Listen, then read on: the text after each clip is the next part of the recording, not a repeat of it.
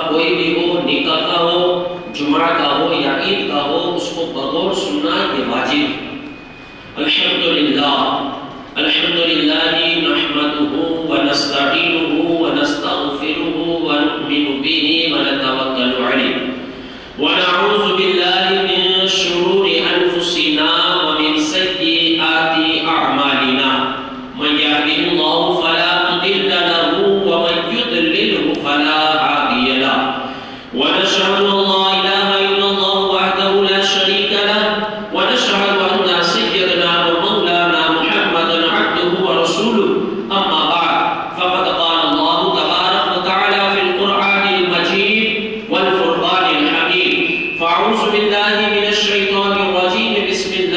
الرحمن الرحيم.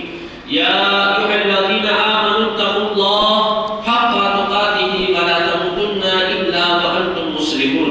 يا أيها الناس اتقوا ربكم الذي خلقكم من نفس واحدة وخلق منها زوجها وبث منهما رجالا كثيرا ونساء. واتقوا الله الذي تساءلون به والأرحام. إن الله كان عليكم رقيبا. فانكحوا ما طاب لكم من النساء مثنى وثلاث ورباع قال رسول الله صلى الله تعالى عليه وسلم النكاح من سنتي فليس مني. يا أيها الذين آمنوا اتقوا الله وقولوا قولا سديدا يصلح لكم أعمالكم ويغفر